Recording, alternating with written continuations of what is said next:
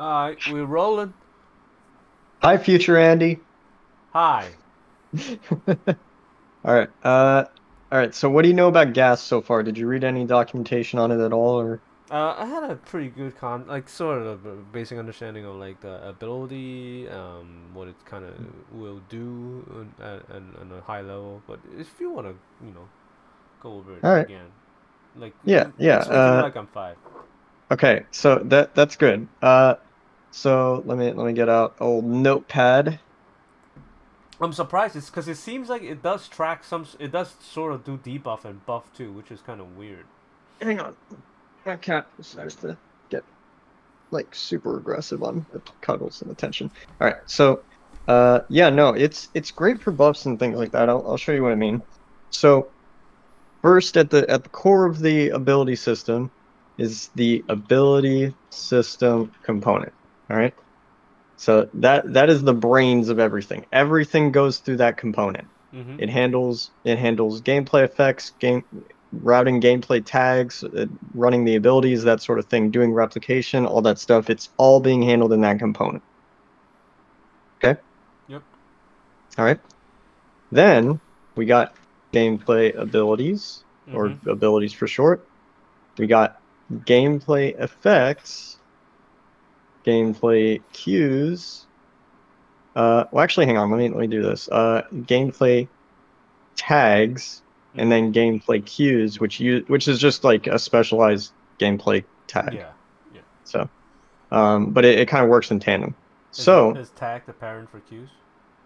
Is it uh, no, it well, no, it, they just do a parent. They do the base tag hierarchy of gameplay cue dot, and then whatever you're trying to do with that. Oh, okay. All right. alright. So, all right. So we have those those those are literally all of the like super important. Oh wait, and one more thing. Uh, uh, gameplay attributes. Oh, okay. All right. Um. Okay. So, so we have the understanding of this. It, it handles RPCs, spawning, uh, abilities. Um, and when I say abilities, I mean literally gameplay abilities, not Mhm. like you know some actor in the world kind of thing. Mm-hmm. That's not his job. The ability can handle that, but not not the not the component itself.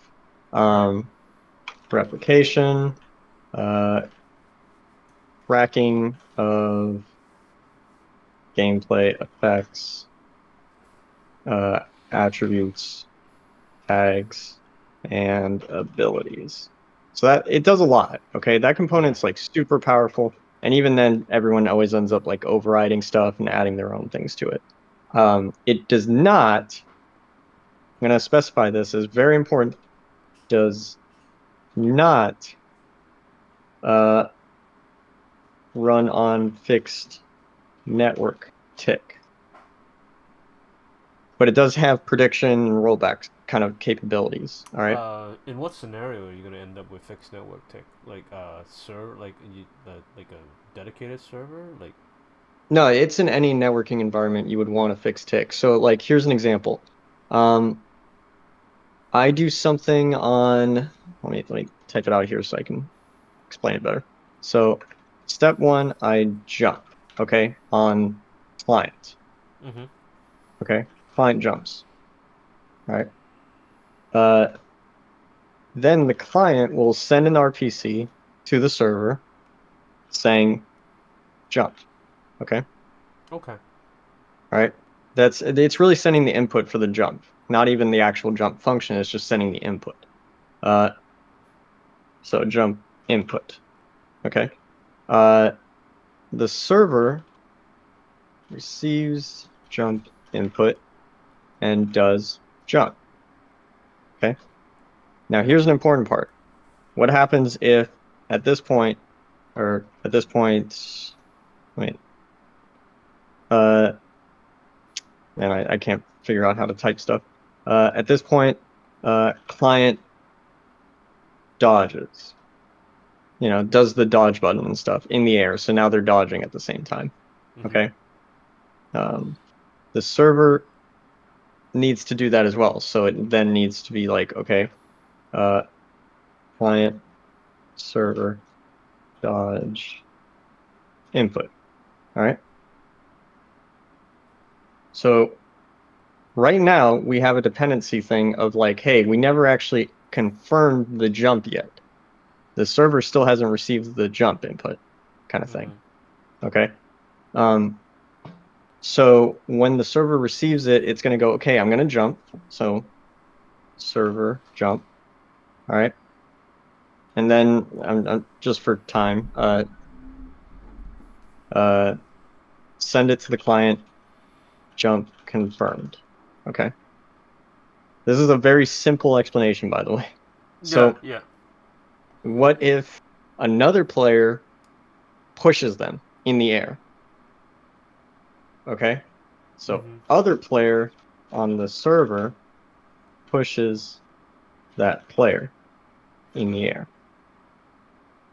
Okay. Then server receives dodge input. Okay. So now the server's way off because he just got pushed out of the way in the air right. and then gets the dodge input, he's going to dodge even further away. So this is where rollback comes in, and it's like, okay, the frame number, the frame ordering of everything, like there's a specific order that need to happen. The client's going to have to roll back to that specific frame order and stuff, which the gameplay ability system does not have. It does not have a fixed tick order. It just oh, basically Oh, okay. operates on who comes in first. Oh, okay. Yeah. It it does have some ordering in terms of like dependencies and stuff like that with something called a prediction key, which is in C only. But even then, it kind of like it'll handle it for you, kind of thing, which So you won't have to you- worry about. Hmm? So if you wanted some something more specific, you can have to write your own then Yeah, exactly. to to do So, like- the rollback. Yeah. Okay. So like, yeah, and then at this point, like this is highlighting the main problem that needs to have a rollback happen for the client. All right, the server does not need the rollback. I see. All right, because that's server authoritative. The serve what happens on the server is the source of truth, not the client. The client Right. should have gotten the jump confirm confirmation, okay, Mhm. and then and then he receives after that a rollback uh, message saying, "Hey, you need you can't dodge because you got pushed. So you're getting pushed now, and then dot, and then you can try to dodge if you want. But Mhm. we're neutering everything that happened, you know, in between the confirmation. So, or deleting that history basically.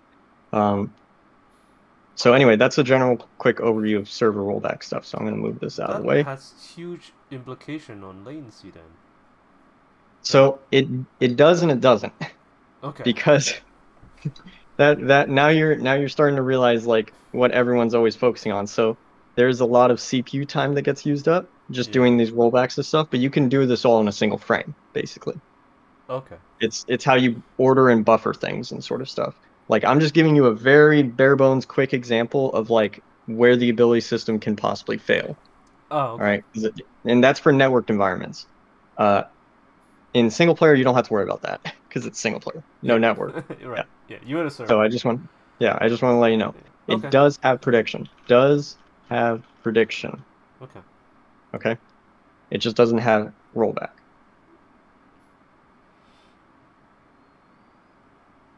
All right. It does have a sort of rollback where it's like, hey, if the prediction gets rejected, because they do have to confirm a prediction.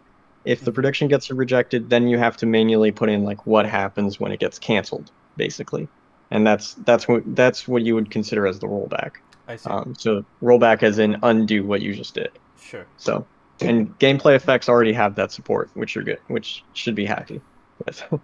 um, okay, so abilities.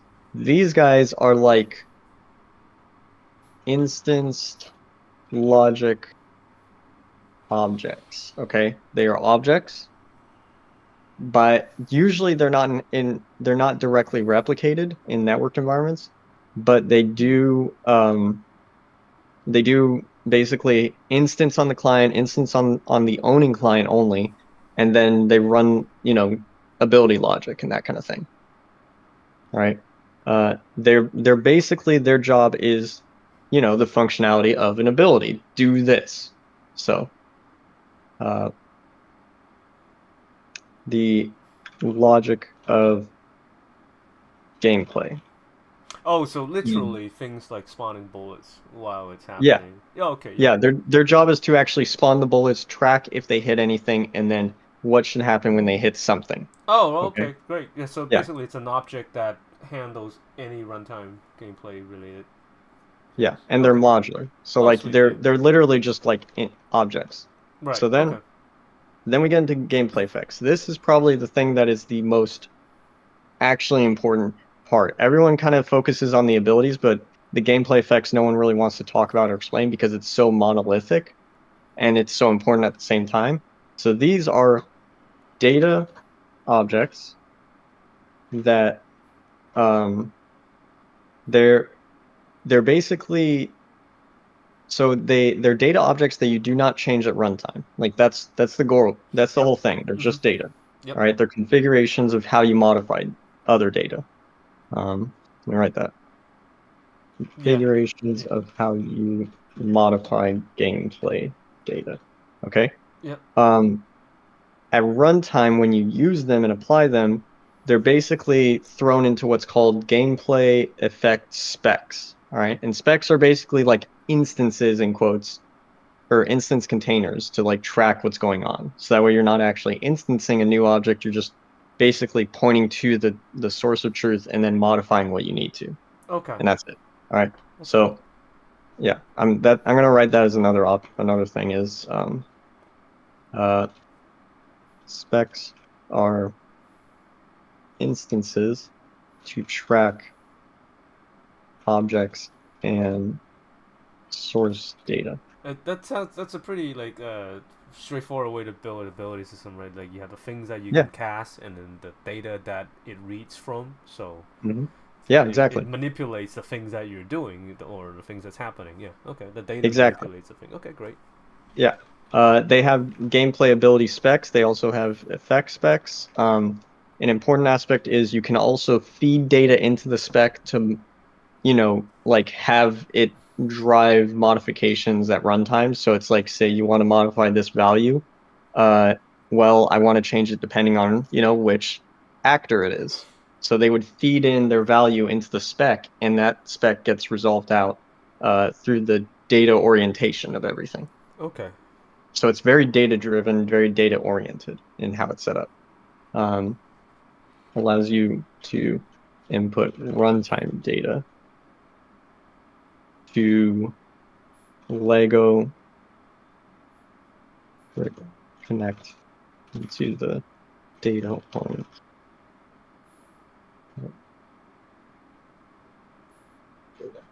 Sorry, it's going to be a lot of contextual stuff. So, like, there's nothing explicitly saying data really, or there may be, but it's kind of like you have to contextually understand these things. Mm-hmm. Um, okay, so attributes.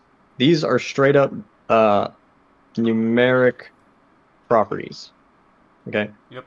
Uh, they're placed in an attribute set, so that that's another thing. Attribute set, a list of gameplay attributes. Handles, uh, holds them. Oh wait, uh, handles uh, I'm trying to figure out how to say this. Replicate. No, it, it handles with replication. It's in, in correlation to that. Mhm. So it would, uh, the game, the ability system component would talk to these attribute sets to handle the replication. So they're basically like replication wrappers for gameplay attributes. Now here's a here's a crappy thing about attributes that I don't like, and they are well Epic is well aware, and they're trying to fix that. Only make these in C++. Uh, okay. Yeah. Yeah. Same with attribute sets. Um, but you can once you've made them in C++, you can use them in Blueprint and stuff like that. It's just you can't declare them. Can Or, you know, do make them. A, do you do a Hmm? generic one and then inherit from there?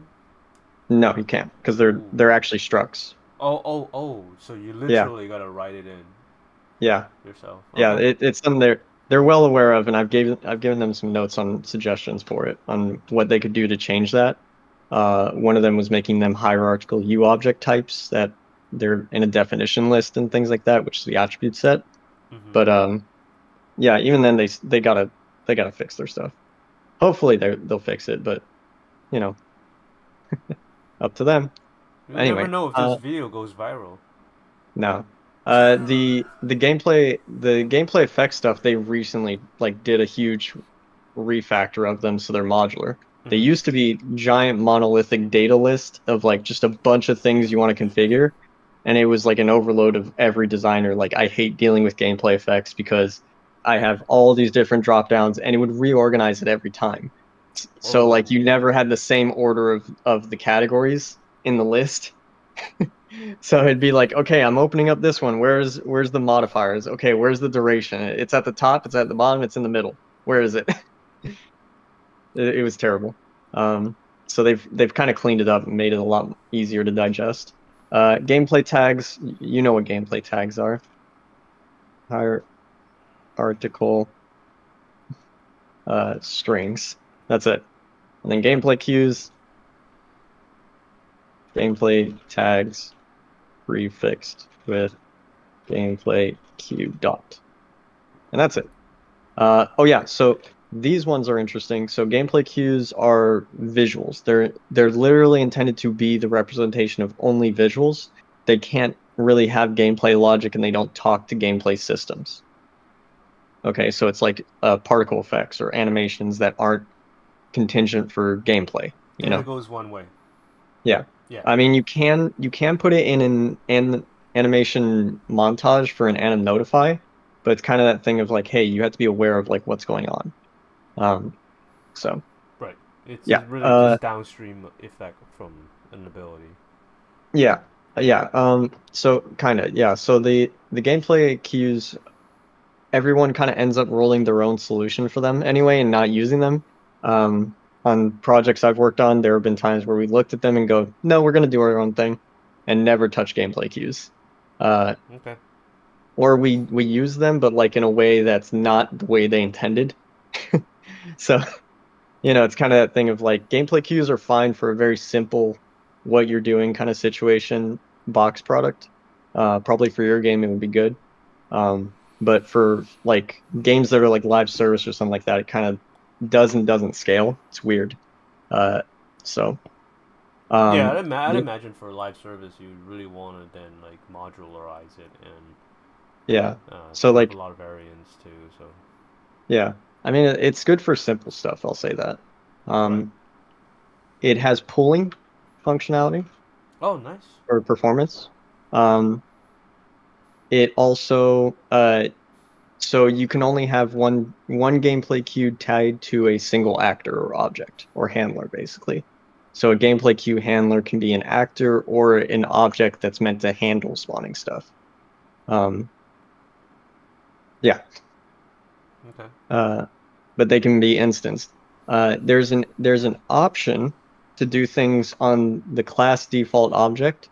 I don't recommend that. Even even people at Epic who have worked on Gas and like helped build it say that may, using that was a mistake and making that exposed was a mistake because it has only caused problems every time I've tried to use it. Uh, so don't use don't use that. All right. Um, but- uh, oh yeah.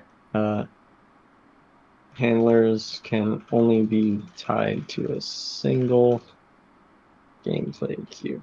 Okay. And we will go over that later. So I'm going to minimize this. All right. So in this uh, gas documentation project, I'm going to hit play. All right.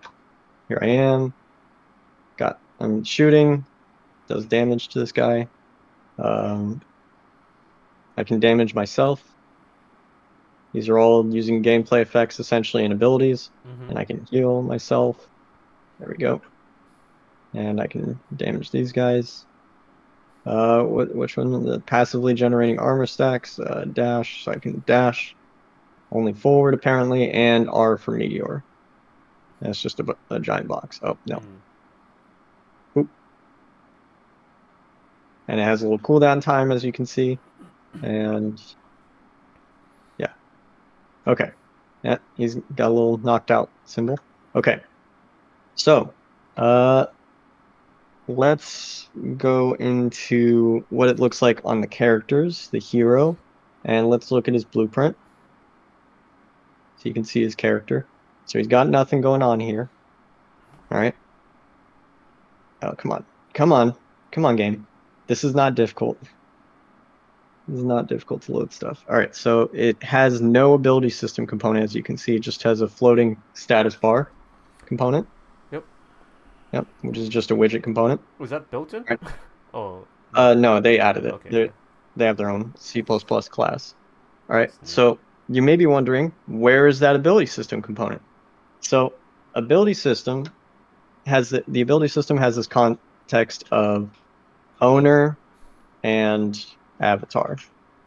Okay, the avatar or the owner is the actor with the ability system component on it.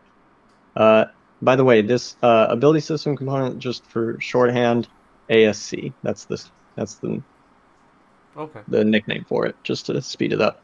And uh, gameplay effects, we will call them GEs. Okay. And you know, abilities are abilities, but some you'll prefix them with uh, GA usually. Um, so avatar, avatar is the representation in the world, like the character in this case. So the actor representation using the ASC usually connected to the owner in some way. Okay? And we have another concept I'm going to tell you about in a second, which is called uh, source, sla- and source and target. Source is the owner ability ASC. Whoops. ASC. And then the target, the target or the the person the actor receiving uh it's it's so both of these are ASCs uh, ability system components um the receiving uh ASC for gameplay effects damage etc okay um the owner ASC that is causing gameplay effects, damage, etc. Um, can also be causing outgoing and or incoming. Okay. Okay. These are very important words right here. Outgoing, I'm going to capitalize that actually. Yep. Going and incoming. Okay. I'm going to do this as well. Receiving pausing okay because in the in the system it'll use those kind of names and words and it's like okay which one are they talking about they're talking about source they're talking about target Mhm. Okay. so follow me so far any questions so far before we move forward Just you know, it's very typical of how you would write an ability system. Okay, great. Yeah. So, uh, in this project, and this is usually how it gets done in some projects and most projects, the owner tends to be the player state. So the player state will usually have the ability system component, and the avatar is the character. So if we go to here, blueprints maybe, uh, player controller, player state, there he is, ability system component, right there. Okay. So, yeah. And uh, let's go to hero. nope, minions. Let's let's see the red minions blueprint. Okay. You can actually put an ability system component on the minion himself and make him the owner and the avatar at the same time. So that's another thing. The source, target, owner, avatar, they can all be their same actor. So they can all so if i'm the owner i can also be the avatar in cases i can also be the source and the target because i'm i could be applying a gameplay effect to myself or something like that okay Oh, okay. Yeah. Yeah. So i just want to make that clear there's cases where people are like okay it always has to be two different actors like nope you can do whatever you want with it you know it will handle it so all right um yeah, and he named it Hard Ref Ability System. So it uses these uh, interfaces. Whoops, wrong one. Um, inherited interface, the ability system interface. So get ability system component. So this, what it does is it checks for that interface on the actor that's being being fed in, in this case self, and then it tries to use the interface to find that ability system component. And if it fails to use the interface, it's going to then just do okay, search through the components and find an ability system component. In that case, the interface is faster, but the component search is like the fallback option. Okay. So that way, it, you don't need the interface on an actor if it has the component on there, but the interface is good to have.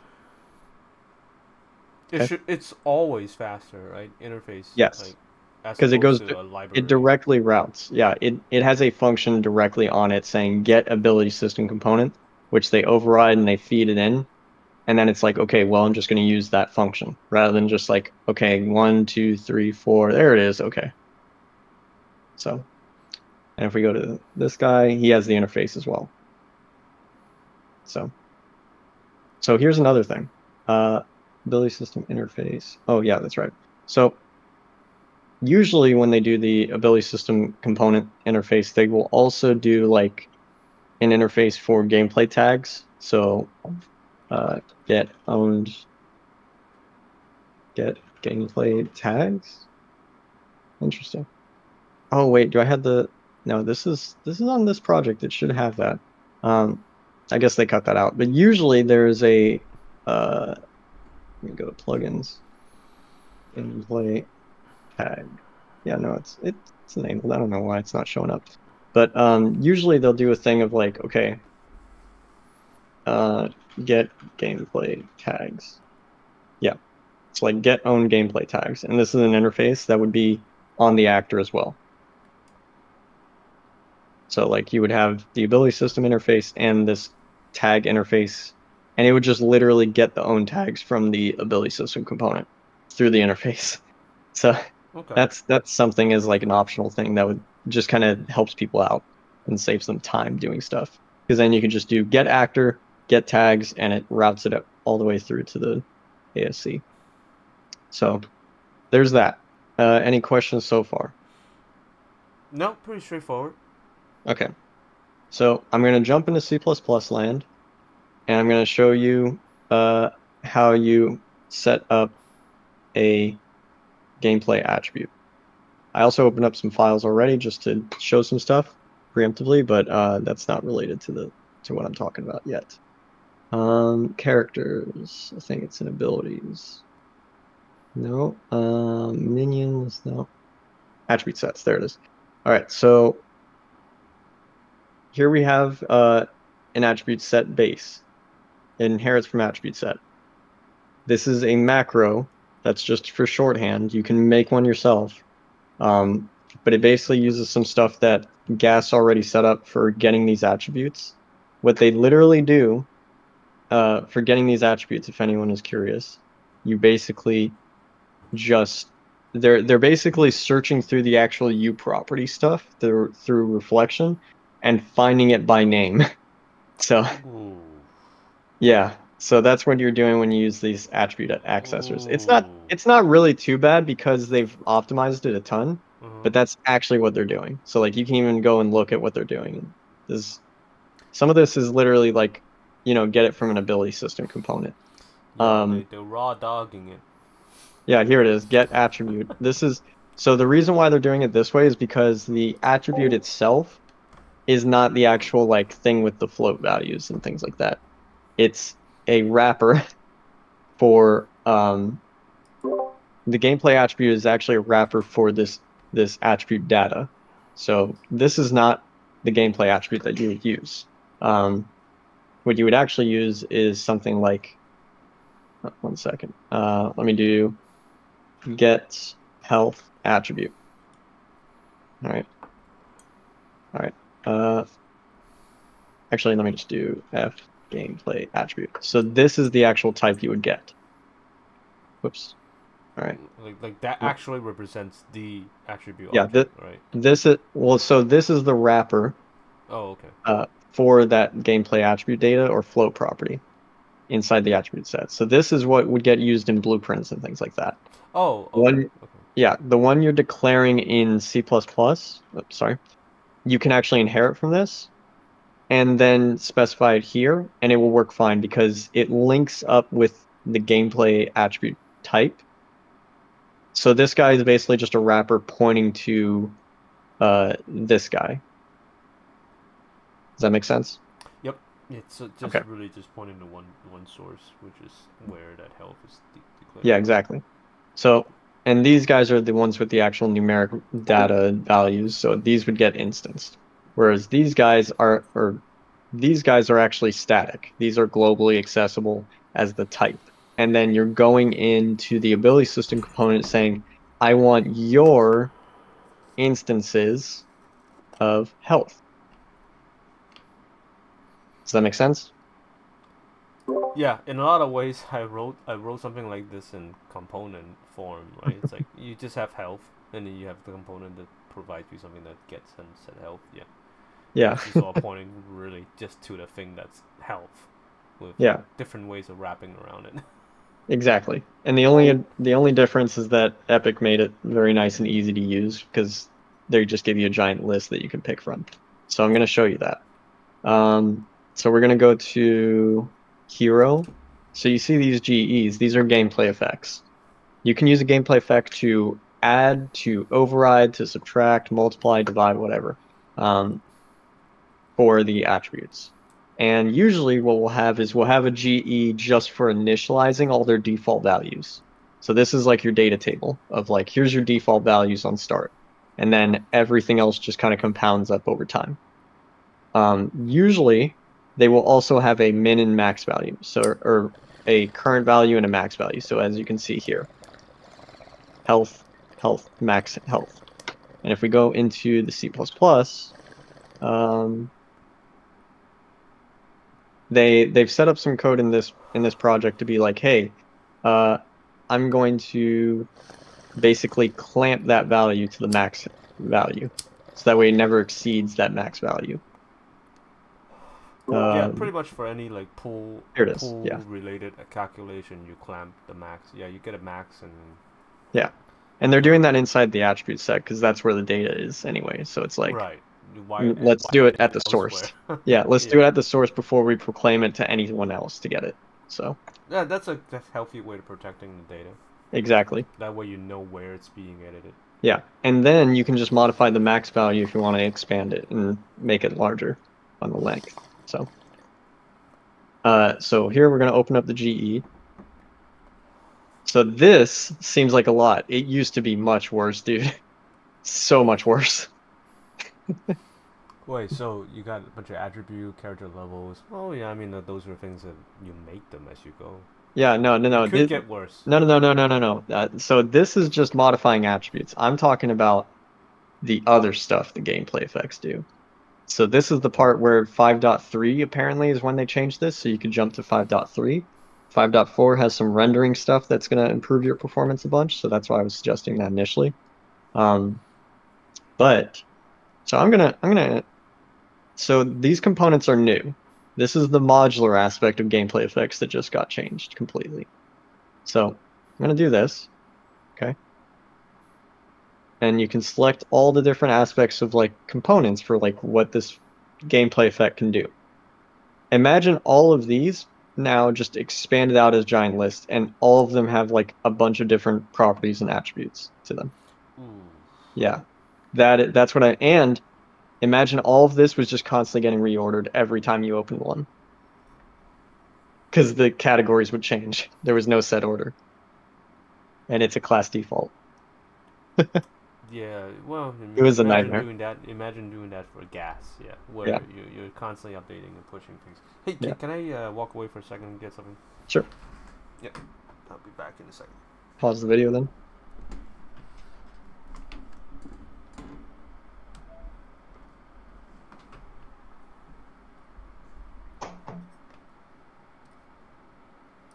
All right, uh, I'm back. All right, welcome back. I'm just trying to find a picture of gameplay effects, honestly. Um, yeah, this is like that stuff I was talking about. Uh, no, that's not it actually. Um, yeah, it was a, it was a lot of list stuff. Uh, anyway, all right. So here's what an attribute looks like usually when you're defining it in the gameplay effect. So you have your attribute, okay, that we're going to modify. That's the list, and you can search it out, and it's hierarchical. So like, it's hierarchical at the sense of the attribute sets. So you can have another attribute set that's specifically for elements or something like that, or you know, money related stuff. hmm Um, the only problem is you can't have duplicate attribute sets or different types on the same ability system component. So you can have one GD attribute set base, and you can have one GD attribute set elements. And if you try to add another elements one, it's going to complain and be like, you can't add two, kind of thing. Or they've changed it where it doesn't complain, but it will only find one of them. And it, you have no control of which one it finds. So, does that make sense? Sort of. I have to see it. Like, Yeah. I mean, I've never used it before, so I wouldn't know. Well, so uh, let me go back to this. So this attribute set, you can have different. You can have more than one attribute set. Basically, Right. you can compartmentalize it to be like one is specific for health, one is specific for elemental stuff, Oh, you know, oh, like- oh, okay. fire element, and then max fire element, that kind of thing. But you can only have one.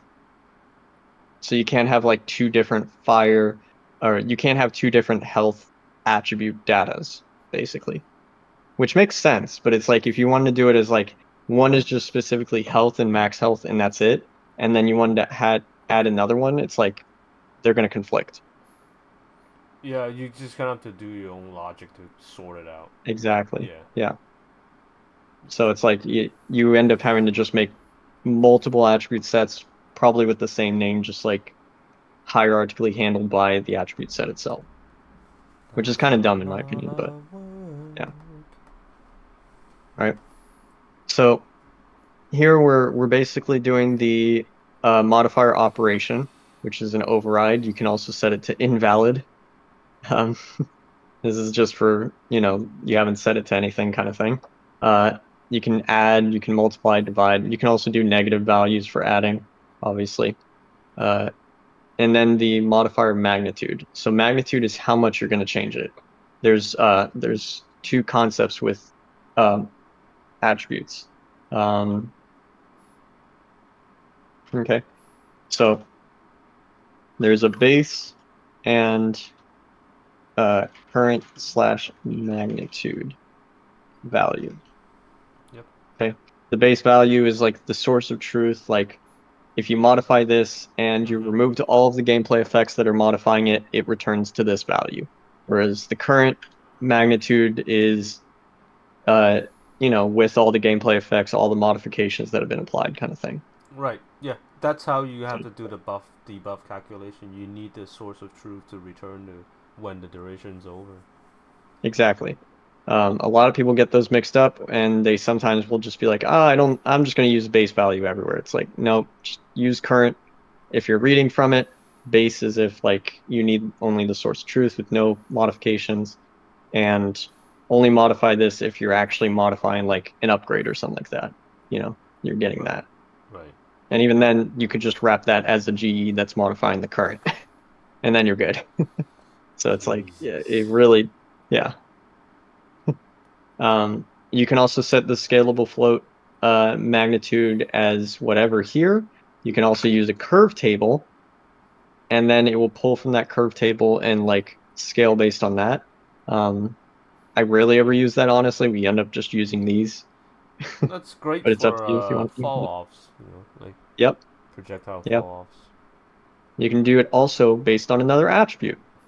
So, and it changes it, which is nice. Uh, so then, so backing attribute is where you're you're basing it off of another attribute, like scaling wise. So, hmm it, let's say I wanted to uh, change my health. Okay, so I want to change my health, uh, and I want to add to it, okay, a value that's say 0.25. So oh, let's let's do a calculator actually. Calculator. All right. So let's say my max health is 100. All right. I'm gonna get this guy out here too, so we can track what's going on. So max 100, and current health is let's say 10. Okay. So thank my cat. my cat's trying to get my attention. I'm trying to do this. Okay, so the way this backing attribute stuff gets calculated out is basically like, okay, the coefficient, it's going to be multiplied by it. And you can see the algorithm for it right here, actually, if you just highlight it. So the evaluating attribute value according to policy, that's that backing attribute, okay? Uh, plus the pre-multiply additive value, which is this guy, and then multiplied by the coefficient, which is this guy, and then plus, you know, this post multiply. I wish they ordered it, you know, vertically based on what's happening first, because then you could just do this, then that, then that, and it would make sense. But you know, whatever. Um, so anyway, what's going to happen is 100 times 0.25, which, yeah, that's going to be 25. 25, okay? So that's the result. That's going to get added onto, that's going to run the modifier operation Mm-hmm. of, you know, 10 plus 25 equaling 35. Okay, let me let me make sure my math is incorrect is correct. 10 plus 25. uh, and that's that's basically what this whole like operation is doing now, this modifier. Right. So that's attribute based. Okay. You can make it even more complicated and deep and deep and stuff like that, but this is just like the prime example. So um so you can also select who you're getting this backing attribute from, which is the source or the target. Remember that? Mm-hmm. Right. Yeah. Um, so snapshot, whether this a- attribute can be snapshotted or not. I think that's a terrible description. Snapshot is when this is happening. Right. Yeah. Like that's a common term in WoW as well, where Yeah. the, the buff the the status is you you taking the current value of what it is rather than calculating off of base value. Yeah.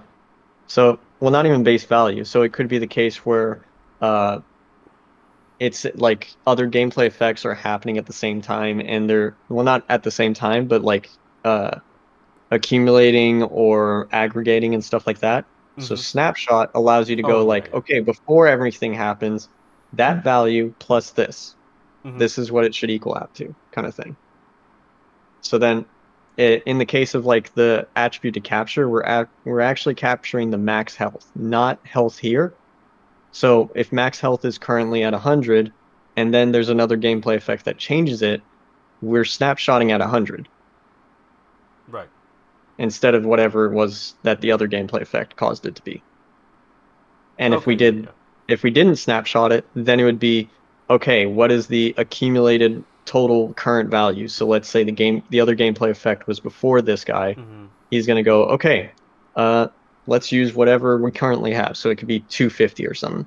Yeah. And now it's completely changed. So snapshot's very good for like making sure nothing is really going out of sync. So when we say capture, that's what we mean. It's like snapshotting. Mhm. So snapshotting is good for that. Capture is also just a term of like which one is it we're going to modify or read from kind of thing and use. So um,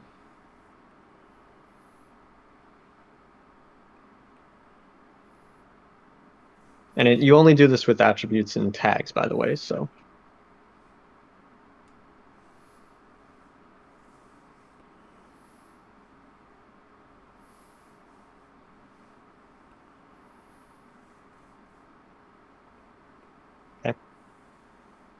So, all right, attribute curve. That one's pretty simple as well. Like, you know, you want to row from, that sort of thing, inside of the backing attribute kind of stuff. Uh, and then uh, which one current in regards to the attribute that we're modifying. So, um, yeah, uh, the magnitude, base value, or the bonus magnitude. Um, I frankly never really use this, so uh, yeah, this one you might have to play with, but you'll you'll get some fun results. Um, so the, here's the thing about modifiers: they've changed because this used to not be the case, where it would just be like, okay, we're gonna apply all these, you know, if the gameplay effect applies. They've changed it to be more modif- modular, where you can have specific modifiers run if a tag filter is, you know, successful. Mhm. So if the source has, say, um, a character tag on it, then that's this modifier will only run, kind of thing. Oh, okay. And yeah, and it's the same case with these guys too. I think they just kind of duplicated some things. Do so you, it, it's kind of using tags a lot. oh, you use tags everywhere, dude, in GAS. I see. Like, cause um, Yeah. yeah, like I've sometimes I do put tags on like um, models and like render components just so like I can identify a certain piece. But like I I don't I tend not to use a lot of tags. Maybe Oh, dude, you're gonna bad. love tags. You, you're gonna yeah, you will love it because it's Is it very just- easy. Is it really just like keyword that's reserved all throughout a project? Yeah. Oh shit. And it even has a reference viewer. Oh, you could. Oh shit. Yeah. Here, let me. Uh, I'm sorry, because like. Unity's tag has let me down. I know, I know. No, Unreal's Uh, is fantastic. They they use it in Fortnite. Great. So yeah, it's like- I was like, oh man, yeah. like I'm not sure because like I was like, okay, if it's string, someone else is how to keep track of this shit. Yeah, no, it it's all so it's all managed properly. So like, you can modify it inside of the gameplay tags, uh, in the project. It goes in INI files, which is the best part. All right, you have a full list. This is this this whole like UI is new, by the way. So like, it used to be just like an inline thing here. They changed it to be its own menu, I guess, to make it easier to uh, modify and stuff. Oh, okay. Okay. So you can see how it says default tags.ini. You can add a new tag and you can specify the source, or you can make a new tag source. And it'll be in the path of config slash tags, and you can name it whatever. And then you have that available as your new source. So then it would be like, okay, select that or the other one. So you can organize your tags even that way and it resolves out if there's duplicate tags from a plugin because you can also tag you can add tags via plugins the same way too um, so you can do like uh, inside of GAS documentation um, you can do well you can basically just do the plugin and then inside the plugin folder you do a config folder like this Mm-hmm. and then just literally put your tags ini in there and you can even modify it here so like Oh, neat. yeah I'm gonna open that up. And that's what it looks like. Very easy. It even has dev comments, so you can add a comment explaining what the tag does. Or what it's intended for. So it's very nice. And it resolves out. So if you have do if you have the same tag hierarchy, it'll just it'll be like, oh, we already found it, we're good. So if you already have like uh, ability, skill, ability two in one in one plugin, and then the project they've already added that. It's like great, it, it'll be fine. Don't worry about it. So, and you can unload tags at runtime if wanted. Um, this is fairly kind of new stuff that they're doing, but um, because of the modular gameplay system, but or gameplay features, but yeah. And it has some fast replication stuff, but this one needs to have it like identical. So like you can't be adding tags on one and then not having those same tags on the other, you know, machine kind of thing. Because they go based on an integer at that point.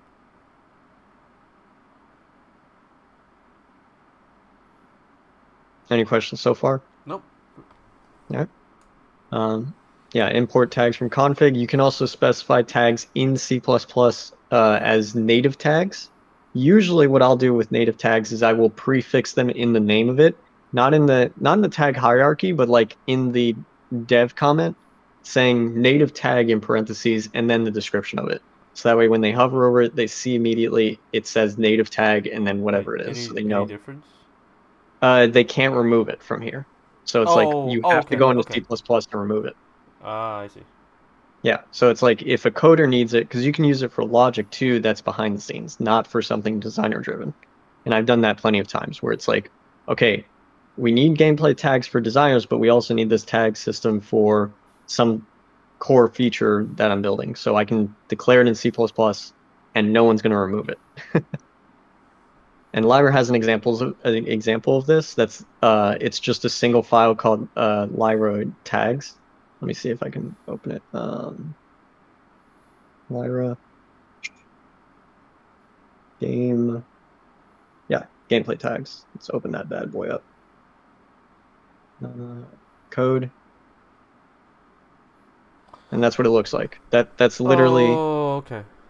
yeah. And then they also have the CPP, and that's it. That's It's a perfect example. Tag. everything else below this is just extra stuff. So like these are all this is all you need. The namespace and then this. So yeah. Everything else is just extra stuff that they're doing for Lyra. But that's how you declare a name a native tag.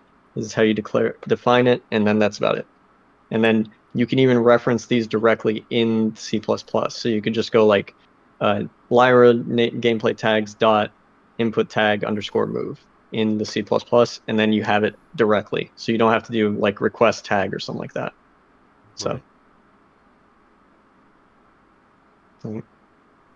Um, you can also do a restricted list. It, it's fun. They're, gameplay tags are great, dude. I highly recommend getting used to them because they will make your life so much more modular, easier, more dynamic. And you can add different tags because they have two types. They have a gameplay tag specifically, or you can have a container, so you can have multiple. And it has like functions in there and stuff for like um, comparing. They also have something called a query. So this is what I'm going to open up next. So this is a gameplay tag query. This is where you can do expressions. and you can make new expressions too. So uh, any tags match, and then you can do like that, and then okay, and then there you go. Any effects, you know, that kind of thing. Oh, okay. Yeah. Yeah, it's really nice. So if you want to build the query specifically, I, I, I really enjoy queries. I don't think enough people use them, um, but gameplay tag containers are fine also. It's just that thing of like, hey, query, queries are pretty cool too. Check check them out. Come on, be cool, be cool, guy. Um, oh yeah. So back to here. So then we have uh, custom calculation class. We haven't even finished with attributes, by the way. So custom calculation class, this one's pretty obvious. You can do a custom calculator. All right. And that will handle and this will like basically feed in coefficient, pre, post, multiply stuff, final lookup curve if you need it for the calculator. Um, yeah. So this one is something you can actually inherit from and use in Blueprint if, needed. Uh, I've primarily done it in C++ and then hierarchically built out a system to then inherit in Blueprint. But it's not the actual calculator, um, just to kind of automate stuff. Right. Okay. So next, but it, it basically it routes back to a, a final value that is added that's doing the modifier operation. So you got to remember that. It's like you're layering calculations. Um, so then we have set by caller. So set by caller is a fun one. So this is the one where you're basically saying here I'm I'm going to add a value and I'm going to get it and I need to basically like um it's tied to gameplay tags so like if I do this compile wait can I type in here no I cannot No, it's grayed out. I know use this the name the caller will use to set this magnitude by why is it I'm pretty sure you should be able to set all right either way I guess I guess they're using the data tag. Either way you you tie it to a tag or something like that. We usually just have a set by caller tag and then that's about it you know generic tag or something like that um, just for testing uh, or just general set by caller. Uh, so the way you would do that is using those gameplay specs I, I talked about earlier so i'm going to show you an example of that in a minute i'm just going to open up a hero blueprint guy uh, gameplay spec uh, gameplay effect spec Nope, that's not it. Okay, we're gonna we're gonna go we're gonna skip ahead. So we're gonna do um let's do sprint. Sprint should be simple. Ignore that, ignore ignore all this, just focus on the graph. uh gameplay effect spec. Okay. So remember outgoing? Yeah. Remember that? Remember that term? Yeah. You you. That's Yeah. source, yeah. Uh, so this is where I'm specifying that GE again. So hero attributes in this case, Mhm. hero attributes. Okay. And I can specify a level. This is like a constant throughout GAS that you can straight up ignore this or you can use it. You know, it's good if you want to do like actual levels of the characters. So like they get from level one to level 30, it scales up with that kind of thing. Um, or you can just ignore it. I've there have been many projects where we just straight up ignore the level. Wait, that's uh, baked in. Yeah. Why? Yeah. Uh, why, why why won't they just open it up to like an attribute, just like modifier, and just fucking let you have What do you mean? Wow, I'm surprised they just baked it in. Yeah, it Like, yeah. It, How I mean, this was they try built- to make it, they baked it. Wow. I know, yeah. It was it was something where they made this for uh, Paragon. So oh, okay, I see that. Yeah, that it. has to ties Yeah. with the hero levels. Yeah. yeah, GAS was made for Paragon, and then they retrofitted it into Fortnite, and then Ah, okay. it became the behemoth that it is. Holy So- crap. Yeah. So as you can see, gameplay effects spec handle. So the handle is actually pointing to the real spec. Um, if you noticed my conversation with Davey in, in Discord the other day, I was saying about how there's a bug with this. You don't have to worry about that with Blueprint or whatever you're doing. This was like me going into the lowest levels of GAS and doing stuff that I'm pretty sure no one expected. but it is part of the system that it should have supported, kind of thing. So you're probably going to get an optimization out of out of what I suggested to them. Um, or probably they'll fix it. Either way, it the UDN post is there. Um, either way, for those, uh, if you're sharing this video to someone, uh, this can cause a crash if you do use this improperly. If you're using it fine, like you know by default stuff, you're fine. Don't worry about it. So this way is fine, by the way, the way I'm doing it. So effect spec allows you to do fun things with it. So in here, I'm just showing you the list. You can add asset tags. Okay. So you can add, you're basically feeding in additional data for it. So Oh, you can do like, yeah, this is like your, this is like you instancing GE hero attributes and then feeding additional stuff. So you can do an effect context. Um, let me see, where is it?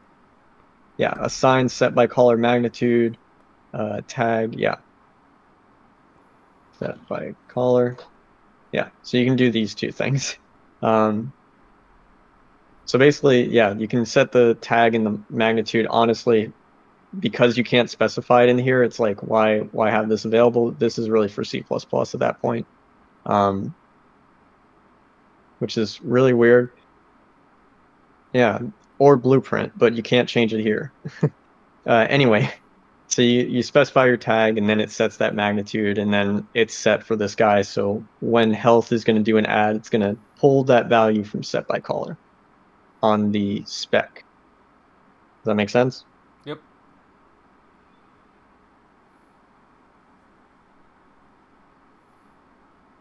Andy? Hey, can you hear me? Yep. Yep. Okay. Um, what else? Okay. Uh, oh yeah. So basically, this is what you would actually do, like applying to a target or to the owner. See again the the naming uh, for owner and target, source and Mhm. causer. You know, and you can feed in target data. So target data is basically like your explanation of what you're targeting. So target data can be an actor, it can be an array of actors, it can, you know, uh, target data. It can be a filtered list, eh, you know, whatever. You can inherit this. You can only make new target data types in C++, by the way. So Oh, this is basically okay. yeah so like you can you can still use these in blueprint totally fine just be aware like hey it might end up where like you need to make a new one for something or whatever uh like hit result or not hit result but um uh locations yeah so locations is an interesting one i'm going to call this one out all right so you have a source location this is like you feeding in extra data so i'm going to make one of these. You can totally do this. Uh, they're the same struct. So ignore the other code there. We're, we're, we'll look at that later. Um, So this location type, if you're dealing with a networked environment, it's only going to replicate one of these three. So if it's a literal transform, you're going to use this one only, and the other data won't replicate. It's for an optimization, but I've been on projects where we need like all of that data to pass through, so we end up making our own version that's literally just don't have a type, just feed in the data and then spit it across the network kind of thing. Oh, okay. Um, yeah. The same with the actor transform, it'll use the source and the component, and uh, socket transform, same case, but it needs a socket now on the component and sourceability if you want to. Uh, so just be aware of that. But if you're in single player, all this data is going to share across, so you're fine. Just be aware of that if you go into a new project and you want to add multiplayer, or if you want to update it with that, this will probably cause some like headache issues in going like, why isn't it replicating? It's because it's like one of these is getting replicated, not the whole thing. so it's a it's a weird caveat that they don't tell you. Um, you can also append different target data. So target data has a handle. Okay, it says right there, target data handle. All right, the way you get stuff from there is, and we'll deal with context in a minute. You can get actors from it. You can do all this stuff. You can also get other types that you've made out of it. Uh, you just have to expose it to blueprint. Blueprint. This is all just stuff Epic made for us beforehand to save time. Uh, so basically, it operates on this. It has it has two lists. Okay, so the it has an internal list of just one target datas. Okay, and then list, and then it goes into each element and go like, okay, uh, actor array, uh, location info like each one has their own specification of how they get uh, their target data essentially. So I could do like get target data endpoint. All of them are going to say index. So get, yeah, see?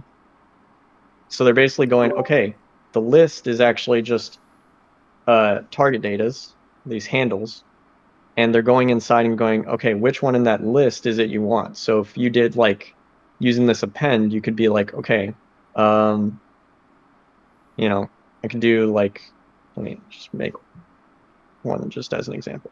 So I'm going to do this, and then, um, and then from there I'm going to append, which is really just doing the add function like an array. Uh, and then you're doing get actor. Yeah. So now it now I flipped it where it's uh, this guy is yeah so the the location stuff is the index one and then uh, index zero is this guy and then index one is this guy basically does that make sense Okay, so you you're basically just kind of on the fly assigning like how, who who to include. exactly Okay. and then when you do this apply gameplay effects spec to it it's going to go through all of these and go okay give me all the actors give me all the actors give me all the actors so i can get the ability system component to apply this guy to it Right, right. Yeah. So I just want to let you know about that. And if it fails, it'll just skip over it. It literally is just being like, give me actors. I got nothing. Okay, skip. Next, move move on to the next in, index. That kind of thing. Okay. So, yeah. So anyway, uh, back to context. So they also have this uh, idea of context, and I'm sure you know about this, but basically, uh, context allows you to be like, all right, give me who is the causer, who's the instigator, uh, where's the origin, who is the origin, who's the source object, that kind of stuff. Does that make sense? Yep. Yeah, it's just additional context information. That, That- you can you can do your own filtering and logic. Exactly. yeah. Yeah, but if you remember, when it was asking about source and target, that's actually how you specified is that context struct. Struct. You go, here's the causer as my source, and then Mhm. who is the target? You know, Right. the target is really you don't have to worry about that because it's going to be the apply. Um, so the target is whoever this is getting applied to. So Mhm. target in this case is owner. Um, or the target here, that kind of thing. Mhm. Whereas uh, if we want to do context, just drag this over here. Um, let's say I want to do set origin. Okay, I guess they don't allow that in Blueprint. Um, interesting. I guess they, yeah. All right. You can add a hit result as well. That's nice. Mhm. But uh, let me see if make effect context. Make context. No, I guess not. But you, I know you can make your own custom stuff for it, so just be aware of that. Um, but that's in C++ as well. If you see something with a spec handle or anything like that, or a handle in the name, that means you can only do this overriding stuff in C++ because of how Blueprint is set up. So, Oh, okay. Yeah. Because you're basically inheriting from it as a struct in Blueprint or in C++, and then exposing it to Blueprint. It's kind of weird and annoying, but yeah. Um, okay, but yeah, these specs are really handy. So, spec. So then you can also do uh, an ability spec. so ability specs are the same thing, but just for gameplay abilities. Does that make sense? Mm-hmm. Okay, cool. Uh, so since we're in an ability, because we're going to now move on to gameplay effects, I feel like I've dragged that out enough. Um, I suggest looking into all of the components available to you, because you can also make your own components. Uh, they also have a fun thing of you can grant. Um, and uh, oh yeah, there's another thing with gameplay effects. Sorry.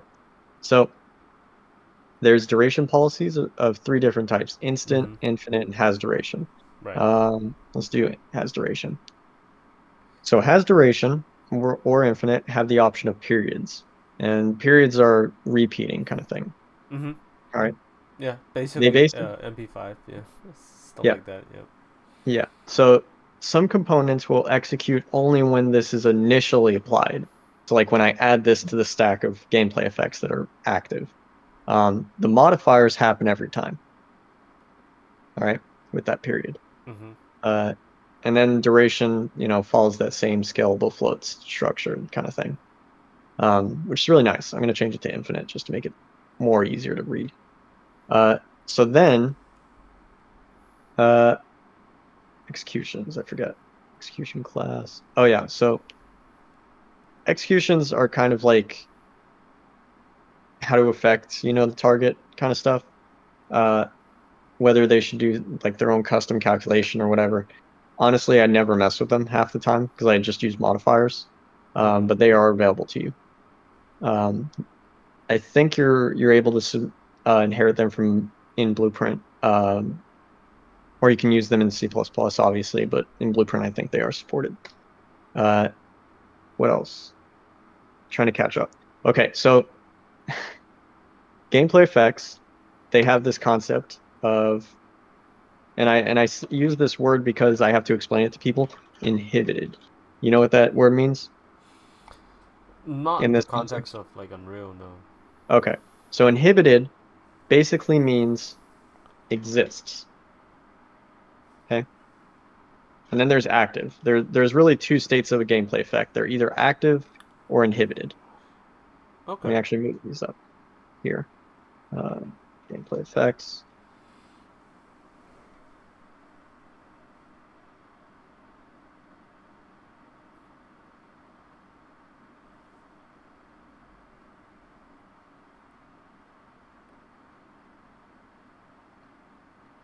Exists in can be inactive. So they can also be inactive, but if they're active, um, modifiers are being applied, tags are being modified, etc. So active means they're actually being used, you know. Mm-hmm. So that's kind of the thing is uh so that's bugging me. Uh so like inhibited when it when it when you see inhibited that means it's going to get added to the stack of GEs that are existing in the list. So a GE can go from inhibited to active. It can also go from uh, active to inactive and now it's just inhibiting until the duration has ended or it's been removed, like manually kind of thing. Okay. Mm-hmm. That makes sense? Yep. Yep. Uh, I just need to explain that because no one ever explains that and people get very confused by that. So that's why. Uh, so when I say you can remove GEs, you basically you can add uh whoops, that's the wrong one. Um where is it? You can grant tags to the target actor, which is, you know, the one who this is being applied to. You can uh require tags that are on the target for this to apply slash continue, you know, like if it's periodic. Um, oh yeah, tags this effect has. So this is how you label this GE with gameplay tags automatically. So that way you can go like, I want to remove all the gameplay effects that have this tag, and then it will find them using this. If it doesn't have this, then it's not going to find them. So uh, this seems like you would want to use it, but there's plenty of cases where you're just like, I want to remove the class instead entirely. I don't care about tags. Um, and I'll show you that in a moment. Let me go to uh, remove other effects. Actually, what was... Yeah, immunity to other effects is another option. But you can add all these tags, and that's how you describe this gameplay effect. Tags can be Ah. used to describe them, just generally. So,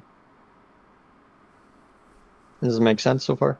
Yeah, yeah. I mean, it's a lot of a lot of this is like a, it's a very elaborate uh, system of you to be able to modularize how how effects interact with each other. Because I'm using a very simple deep like buff and debuff system basically. Right? Yeah. Because, uh, because my like the the one I'm using is very easy. It's like Yeah. are you adding a number? No. Yes or no? You know, are you adding multiplier? Yeah. But obviously, this this is like uh, yeah. If you have a bunch of very complicated system that is, being influenced else by, by a lot of factor as well, then yeah, you need this to, to be able to let you also implement your logic to say filter out certain things. Yeah.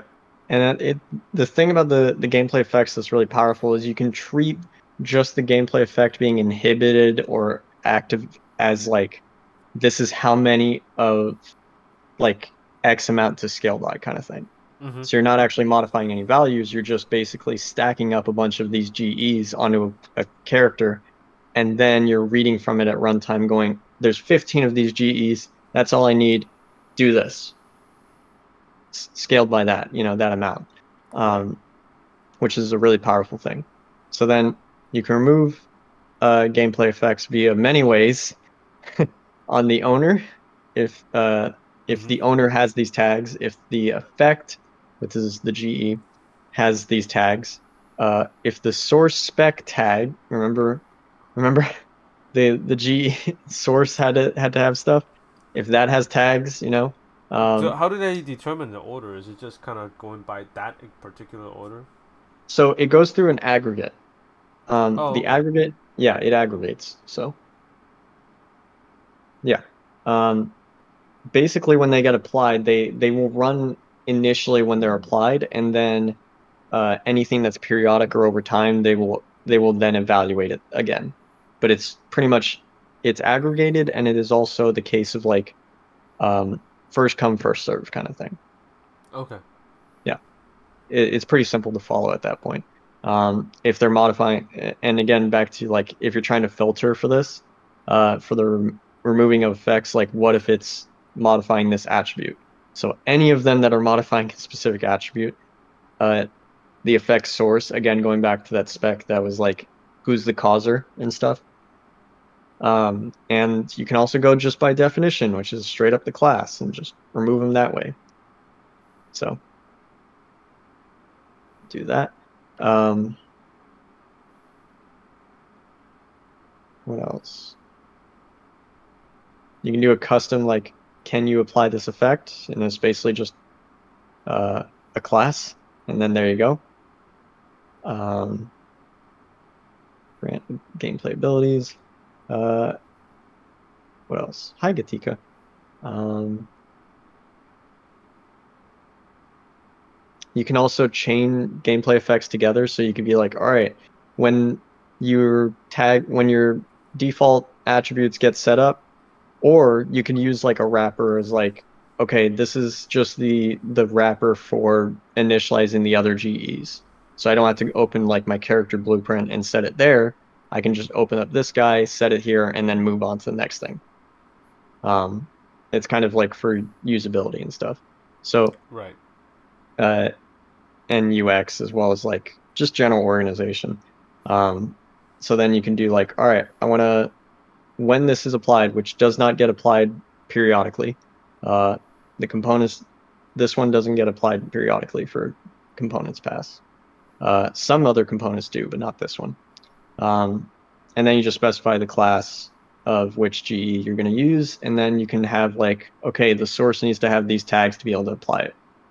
You know, Mhm. um, I've done my own custom version of this, uh, where it's a little bit more like detailed and also requires like the source and target to have these tags. But it's like, all right, uh, that's about it. You know. Um, what else? Uh, gameplay cues. These are just, you know, magnitude attributes you can feed into it, and then the gameplay cue tag associated. So, um, min and max levels, that kind of thing. Additional, you can stack. So, like, uh, let's say the gameplay effect adds a gameplay cue tag to the player for like fire, and they're on fire now Mhm. and you stack it, and there's five stacks of the GEs, and as each GE runs out its duration, then when the final one is removed, that's when the gameplay effect gets removed because they're all stacked up in terms of the gameplay cue tag. So Oh, the okay. gameplay cues can ta- can stack. So or gameplay tags can stack. In some cases, in other cases they don't. So Mhm. um, stackable gameplay cues or gameplay tags would be really nice, but they don't expose that to Blueprint. um, okay, I think that's generally it with the gameplay effects. As I said, this was like, this one is probably the most real important part, so I thought we'd get that out of the way. Yeah. All right. Uh, usually in a gameplay effect, you'll have like one modifier or just doing like this where you're setting the defaults and then um, maybe one component or two, and that's about it. So it's not like you need it to be complicated. Um, but Right, usually it's that yeah. basically holds all the effects that happens, Exactly. right in the game. So Yeah. you just have to declare them. Yeah, and it's just it systematizes it all. An important aspect is these are actually classes. So I can go into here, Oh, okay. Blueprint class, uh, gameplay effect, and there you go. Okay. And then that's it. And here's a, it, it usually ends up being like, okay, I make it, I open it, and then I close it, and then you get the data view. Right. because yeah, you this is usually what people will do with it. Um, this is so we can add var- variables to them and use them for code or whatever. So like I want to get the gameplay effect definition, and then does it cast to this type? Then I can get these variables out of it, that kind of thing. But that kind of is solved with the component stuff. So you it's kind of like okay, I just inherit from a component and then just add to that. Problem solved. Right. So, yeah. Um, okay. So now I'm going to focus on blueprint or the gameplay effect, gameplay abilities. Because we covered attributes, I think. We covered gameplay effects. Uh, we covered the ability system component, gameplay abilities. So, gameplay abilities, uh, they operate on two two aspects. So I'm going to do get ability system component. So we give an ability. Okay. This is basically where you have to grant it so it can be activatable. All right. And it gives you this ability spec handle. All right. So remember that handle stuff? Uh, yeah. So this one, the spec handle is basically just an ID and it's handled across the network for you, which is nice. Um, so uh, activate, try and activate ability. Um, so that's actually what you would do with it. Basically, is like, okay, I want to give it to kind of grant it so I can activate it. Usually, I'll do this like either when the actor spawns, and it's just kind of initializing and setting up, or I will do this like at runtime when I'm picking up things and then it's get, granting it so then I can activate it, kind of thing. Mhm. Um, you have to call this on the server because it basically is just a list of abilities that classes that replicate down to the client. So you have to wait for a frame for it to replicate, basically. Uh, where the GEs are RPC based in a way. So uh, for activating, they're also RPC based, so you don't have to worry about that. Um, so then you can uh, try to activate the ability if the ability has been given, and it will let you know if it was successful or not. Yep. All right. Abilities are pretty simple, and you, uh, here we go again with the level, and you can also tie bind it to an input if you want to. But again, yeah, the real important meat is just the class. So abilities can have three different types of instancing. They can be not instance, which is that class default object that we talked about. Uh, it can be per actor, which is really per ability system component. Okay. And then there's per execution, which is basically like instance every time when you try when you get activated. Mhm. Right. Um, for networking stuff, like you know, uh, by default they do not replicate. That's actually what I would suggest because that's going to be more performant and faster for your network than if you replicated it. And I really don't recommend trying to replicate these because like that's just a bunch of extra network stuff that you have to manage rather than do it the correct way with GAS. Um, replicate input directly in that that's still networking stuff again tying it to that input binding that you're doing Yep. um what else uh execution policies. These are just client or server as it can predict. Uh okay so retrigger instanced ability. So as a heads up uh you can retrigger it if it's instance per actor kind of thing.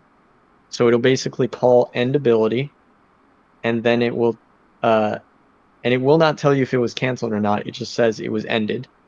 And then uh you have to basically handle and resolve that like what happens when this ability ends? Um you can also have triggers tied to it. So like if i want to instead use a gameplay tag as a gameplay event. So a gameplay event I'll write another thing down now. Gameplay event is a non stored event. So it's not save state or anything. It's just an event that gets sent out. You know, it's like a delegate basically Okay. using a tag and event data. Can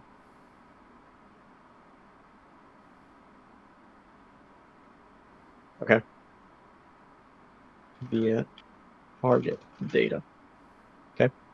So you can input additional data into this event data using target data. Try saying that three times fast. Uh, yeah. Yeah, remember all those context concepts thing I was talking about? Welcome to welcome to GAS.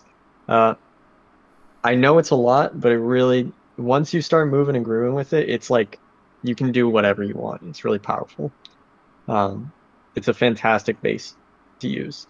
Uh and the people that don't like it just don't like how how large it is, but it's like once you've worked on these kind of stuff, like you know how much it's needed. Um because then you end up building in yourself anyway in those simple cases. So you can you can basically have this ability trigger, which is base which is actually activate, um, based on a gameplay event, or an own tag was added to the ability system component, or the tag is present currently on the ability system component.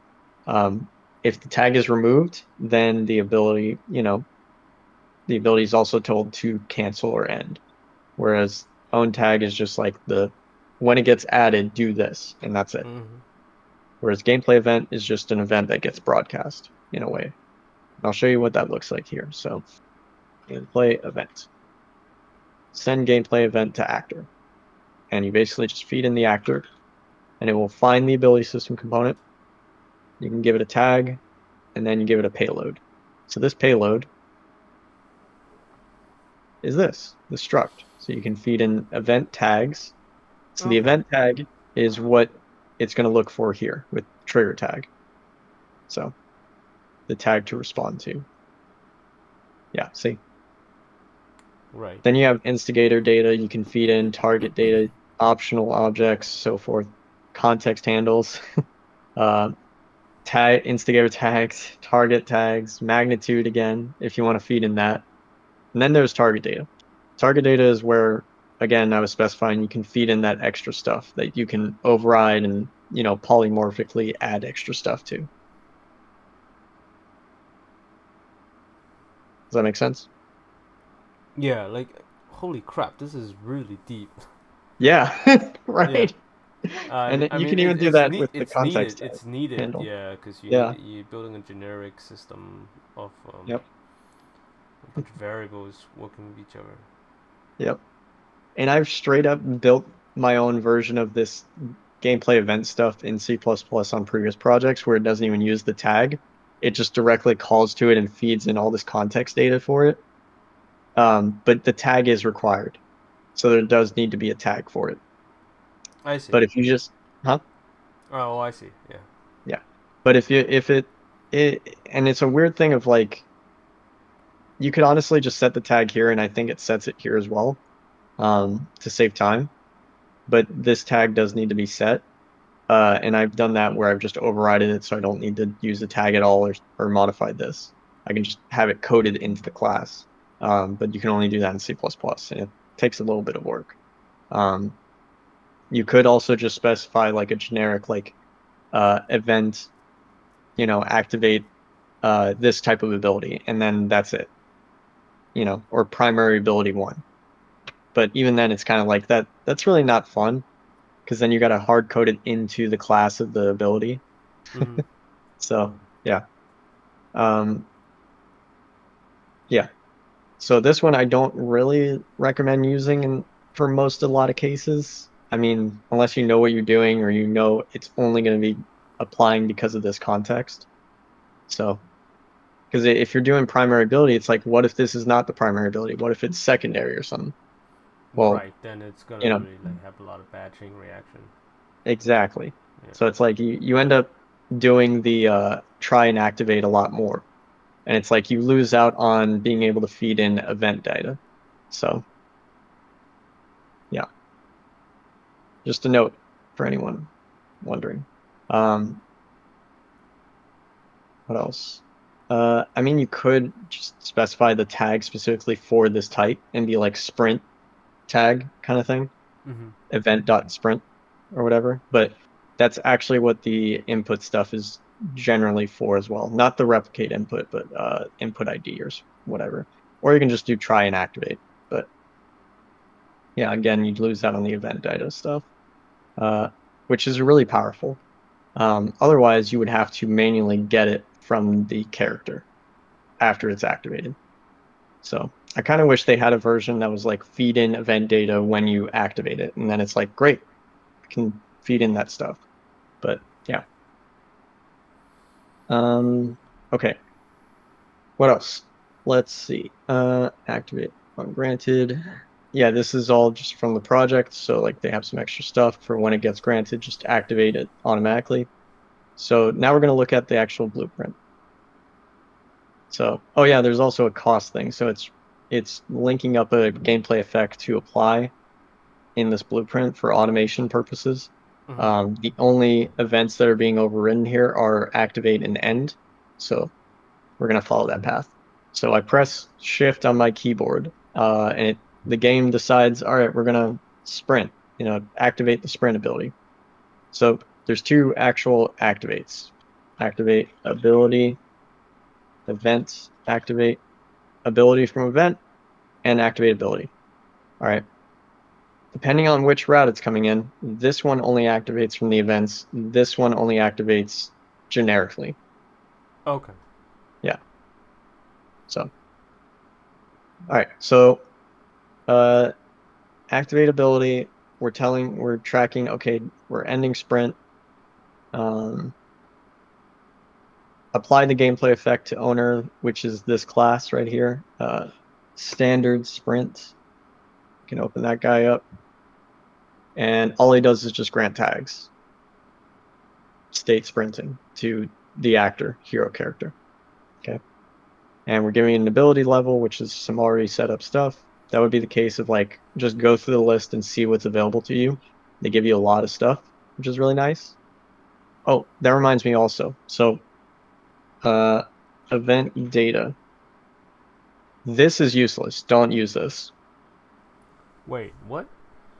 They have this variable for abilities, event data, from the activate ability um, from event, but they never set it. Right? wait. So like it, it, it, could trigger event, but nothing's coming through. No, this will this will feed it through. Oh, okay. This one just gives you nothing. Oh, what the fuck? It's meant to be this.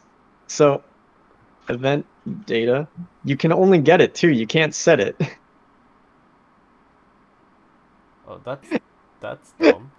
I just wanted to let you know about that. Don't That's use this because you have to override in C++ plus to then set it. I found out. and It was really stupid. I was like, are you kidding me? They couldn't set that up? What happened? It just sits there. It's literally just sitting there.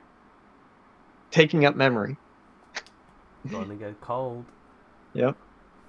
So anyway, back to I'm done with my rant. Um, so yeah, wait. they save out a handle for the sprint gameplay effect because it's right now just adding the tag, and it's set to an infinite duration. So that means the ability is going to tell it to remove it, not from uh, automated ways.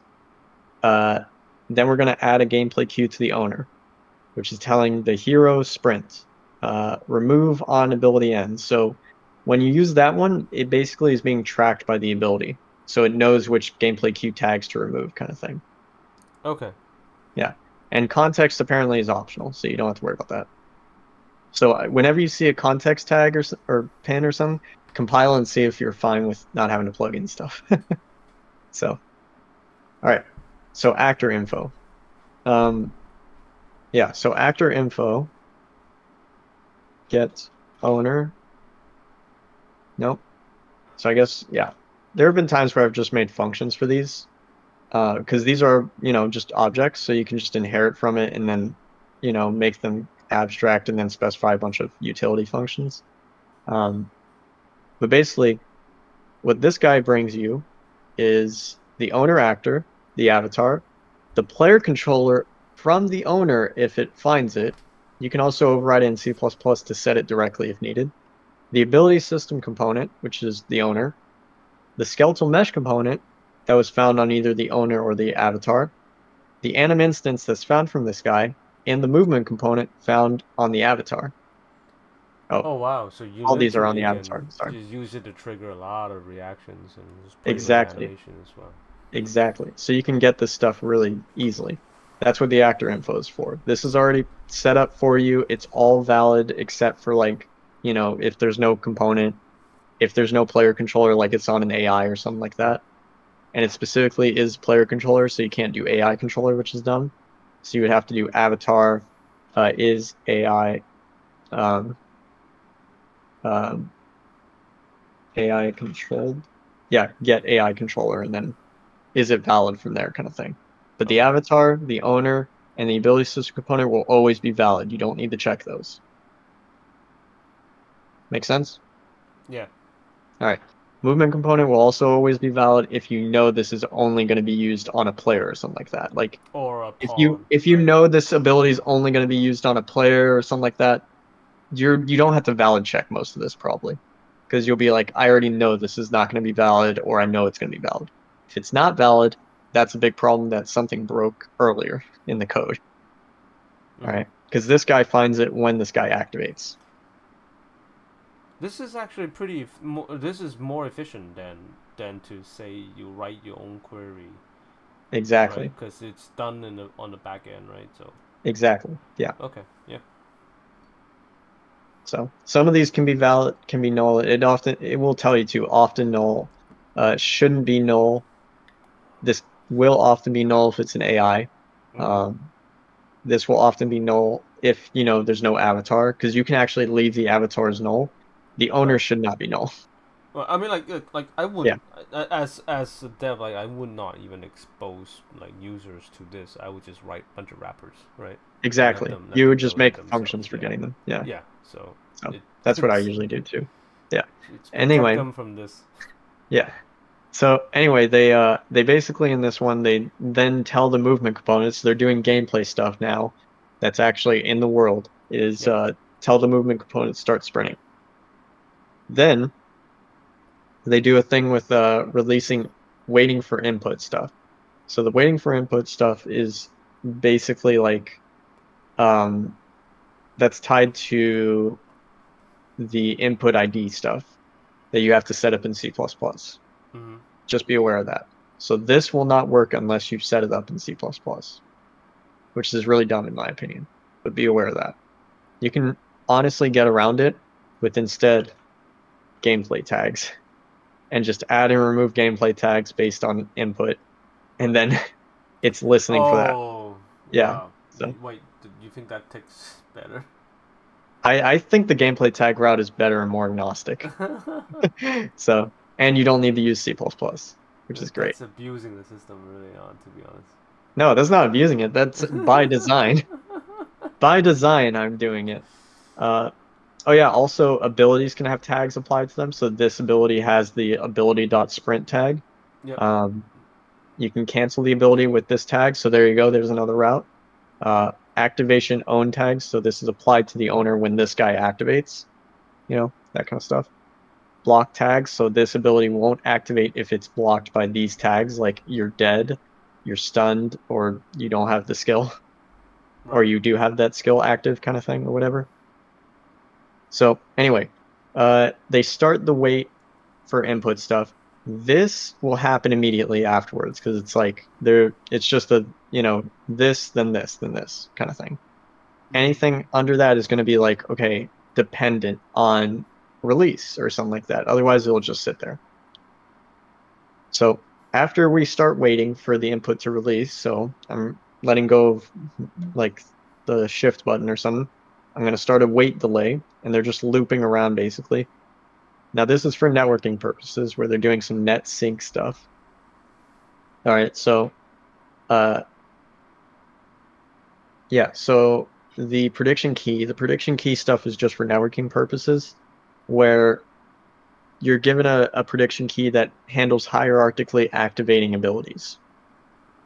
And the key is uniquely generated uh, from the client to send to the server and be like, hey, this is what I'm predicting.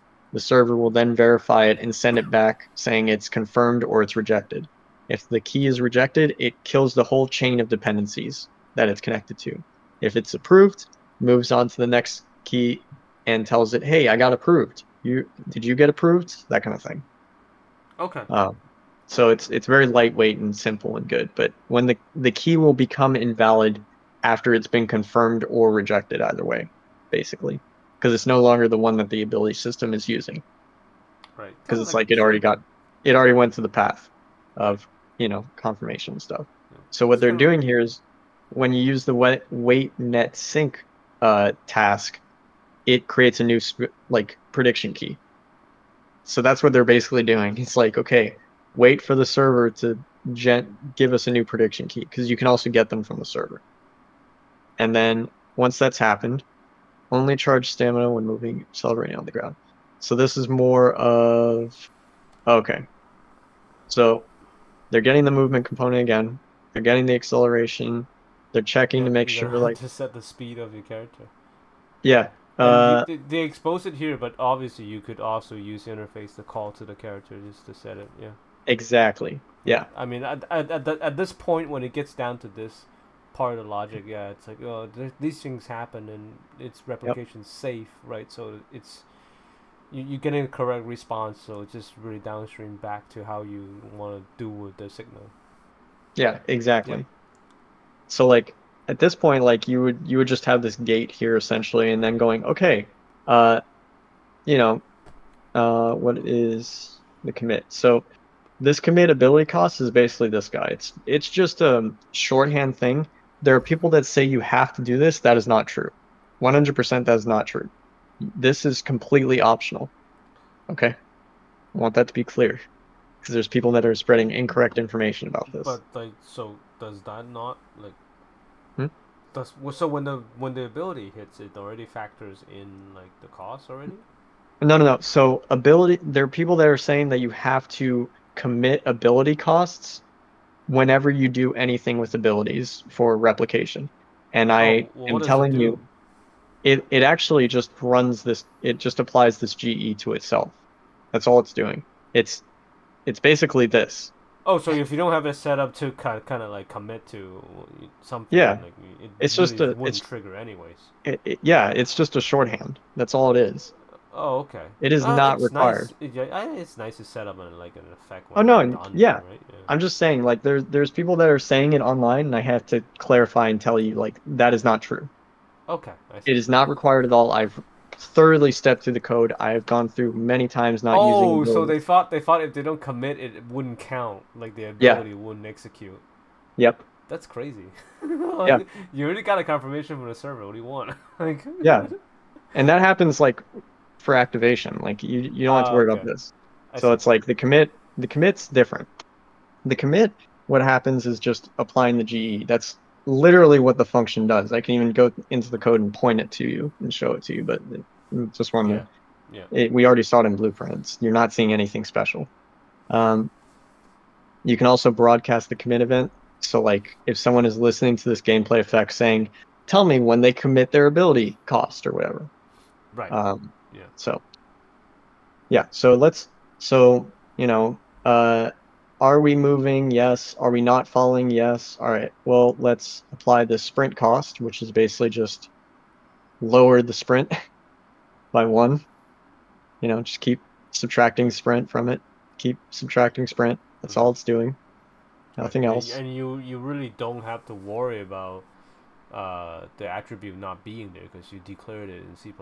So Exactly. yeah, it's always yeah. You have to basically do the hard work of figuring out what you really want and then writing it there.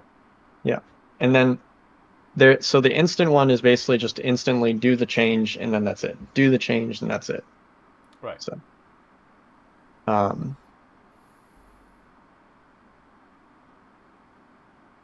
Yeah. Okay. And so as you might have thought, remember there's base and then there's current? Yeah. Uh, yeah. So that instant will modify the base.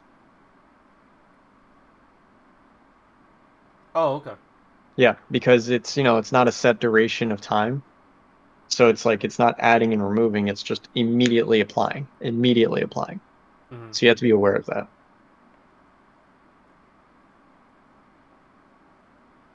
I wish there was a way of just saying current, but it doesn't make sense if it was current because it's like current is based on other GEs, whereas this is not based off of other GEs. This is based off current value Right. or the the actual base value because it's going to be instantaneously applied and then removed. Right? Does that make sense? yeah. Yep. Yeah. Because it's like it's something that it, it's gotten many people as like a foot gun situation so just be aware. Uh, okay. And then did it apply successfully? Yes. Okay. Uh, what? Okay. Uh, oh yeah current acceleration. Yeah, and I think they're reading from the attribute at the in the character movement, so they're going if the you know, if the attribute stamina is still greater than zero, you know, keep sprinting, otherwise don't kind of thing. Right. Yeah. Or if they stop sprinting. Actually, let me test this. Um let's test this. Shoot, shoot, shoot, shoot, shoot, shoot. I'm just holding sprint by the way. Yeah, so I think they're they have something else that's listening or something like that. You know, like remove the sprint tag. Uh, actually, let's see. Yeah, it's probably just removing the sprint tag. Um, in which case, when the input is released, end sprint, or you know, doing this. This is not really that safe. Actually, it is. It's yeah, it's fine. End the sprint just for this ability to know the state of it, and then end the ability. Mm-hmm. I want to call this out. So there's end ability locally, end ability state, end ability ability task. Um, let me just connect these back up. Oh, state. Yeah, states are synced uh, Uh, across clients. Yeah, right. uh, one second. Cancel. One day I'll learn to type. Task. Cancel. Set can be canceled. Yeah, that's new.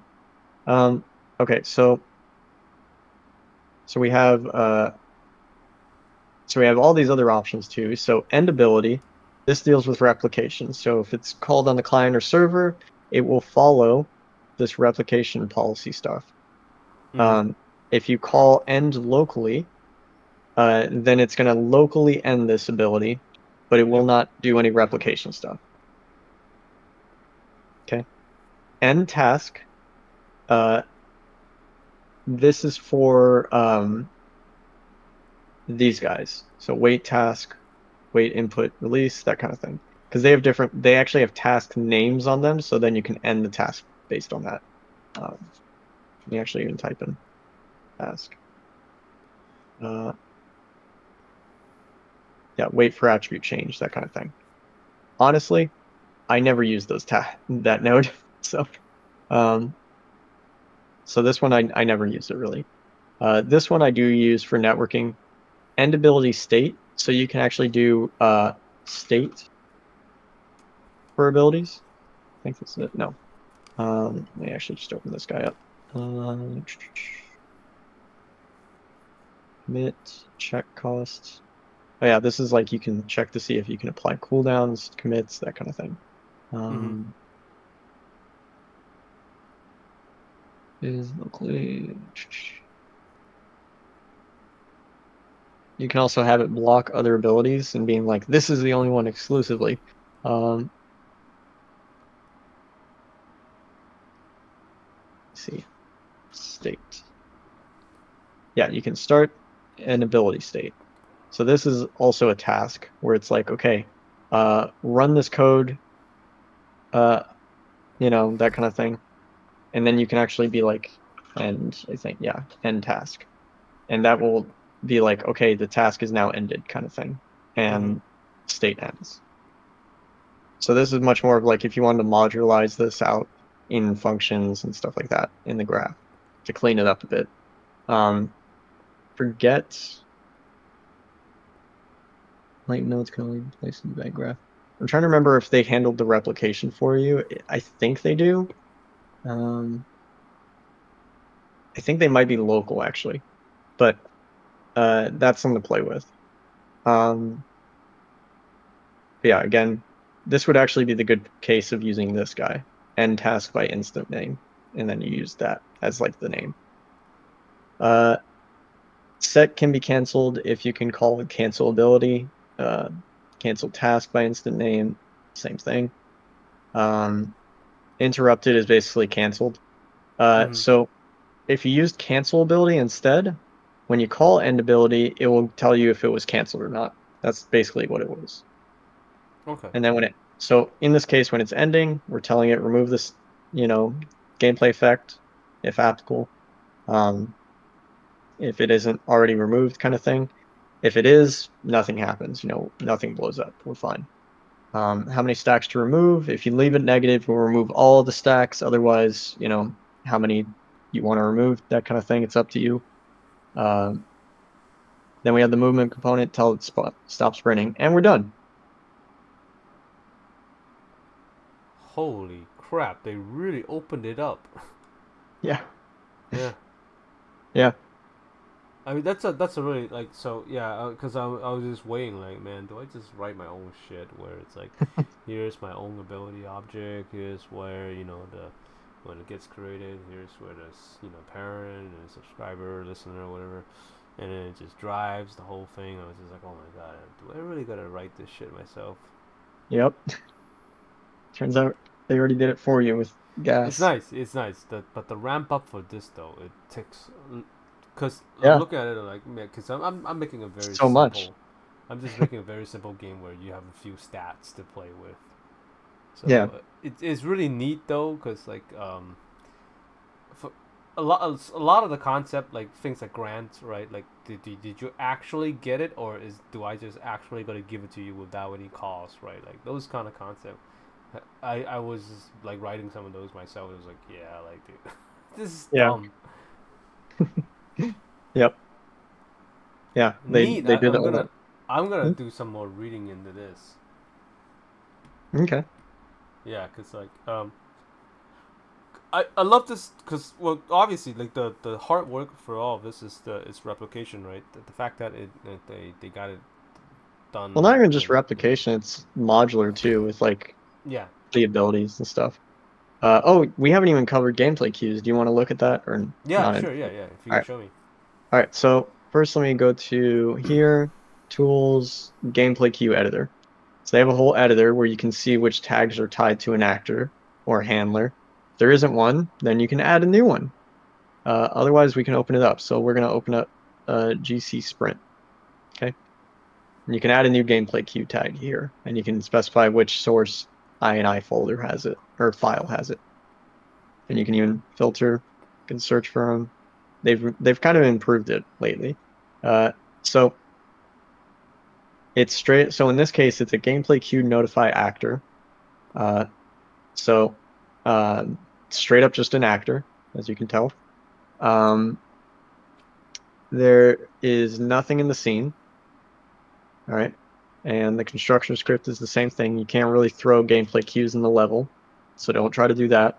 Uh, so there, in this case, uh, it is listening for the gameplay cue hero sprint tag. So, uh, is it this guy? No.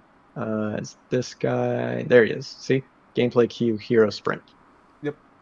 So, that's what it's tied to, and you can set it as an override. Uh, that way you can like test different things. You know, so you're like, I want to make a new one and not break our game and stuff. So I'm just going to do this override. And that's for like me personally. If there's two that are overriding, it will complain and tell you like, hey, it's fighting with this other guy. So uh, unique instance per instigator, unique instance per source object. This is just like um, instancing, pooling kind of related stuff. Uh, allow multiple of on active events in case you want to add and remove multiple times kind of thing um, or stack them.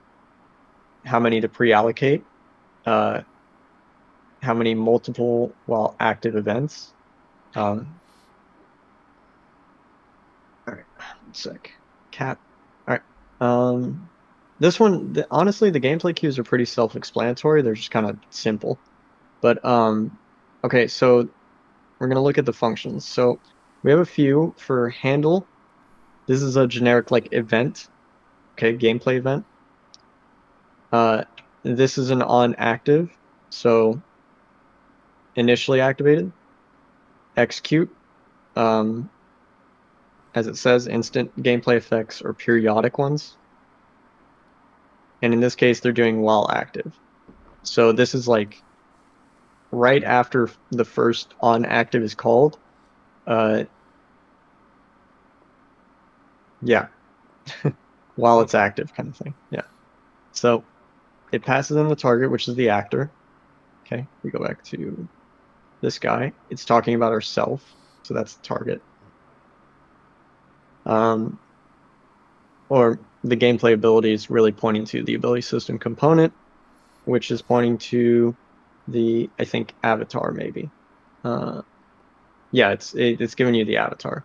So uh, we're getting the avatar's mesh and spawning a emitter, feeding in the speed VFX, you know, speed buff, where to attach, location, all that sort of fun things. Spawn another one at the other foot, and then that's about it. And the return value really doesn't matter. It's just so that way like they can actually do stuff. Um, and then on remove, same case. I mean, while active, you can enable it if you want, but Mhm. it doesn't matter. Um, and then when it gets removed, remove the component kind of thing. Yep. And it's specifically built this way. So we can actually look at a different one. Um, your target actor effects, maybe? Oh, jeez. All right.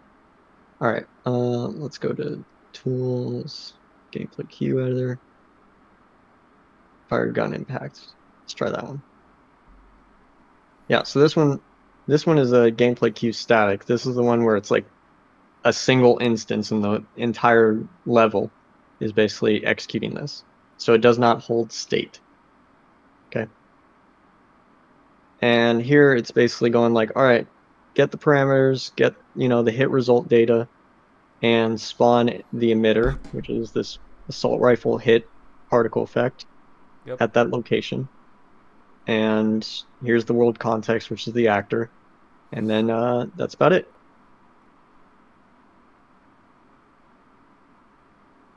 And that's the tag and the override. So Yeah, pretty straightforward. Just like things that's happening downstream. Yeah, exactly. You know, not really affecting gameplay. Very small, Right. simple stuff. So Okay, pretty pretty nice. I mean, like uh, uh, it really just does exactly kind of what I expected it to do. You know, keep track of things in a in a more modular and complicated, customizable way. Yep. And you also can apply gameplay effects and stuff outside of abilities, by the way. So you can do it like in this actor and stuff. Oh, oh, you could literally tell it. Yeah, you just need an ability system component. That's all you need. So, yeah, apply ability Oh, system right, right, itself. right, okay. Yeah, Yeah, yeah, okay. that's about it. And then like you can make the spec handle. Uh, where where are they making the spec handle? Let me find you. Um, are they? They might actually be feeding it in. Let me let me find it. Last member. Let's drag this over. Where where are they getting this? Uh, maybe here. Here, let's let's do this. Reference viewer.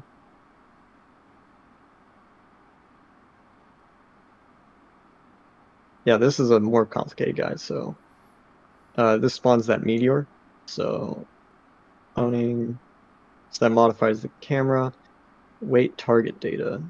Oh, oh, so yeah. This is using the target data actor.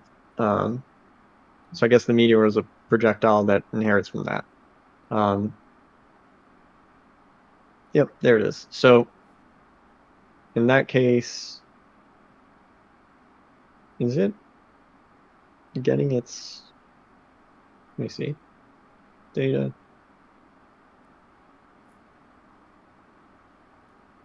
trying to find where is it getting that that that class uh, or that handle. Unless stun spec handle. Damn it. So this one's clearly coming from this guy but stun effect spec handle. Where are you coming from? Expose on spawn. Okay let's go back. Sorry. Uh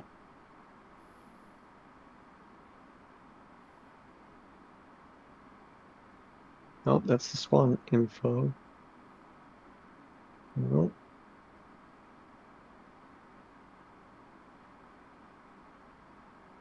Oh, the stun effect. Oh, here it is, spawning the actor. I'm being dumb. Okay. So yeah, it's just spawning the actor normally and then feeding this data in. Yep. Make on outgoing, yeah. So then this guy. Yeah. Yeah, this is just the decal that gets placed on the ground. So for targeting. Yeah, pretty much does not really need any logic. Yeah. Yeah. Okay, And then- cool, nice. and then they just wait for it. So